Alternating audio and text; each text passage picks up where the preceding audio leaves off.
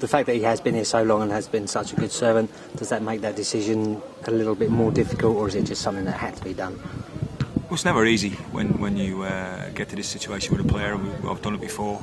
No doubt I'll do it again one day, and we've got uh, we've got a lot of bodies in that midfield at the moment, and um, competition is rife, and players are doing well, players are coming through doing well. Uh, just at the stage Kemi is in his career, um, not to be playing is, is difficult, and his contract's running out next season as well. So. Uh, it's a tough decision, but decisions that have to be made, and I think uh, the right one is being made for both parties. We've spoken to Kem, and one of the things that has been consistent throughout his career is he's kind of a leader of men. He always demands things off players, even when he's not captain on the pitch. He's always running the changing room, yeah. demanding stuff.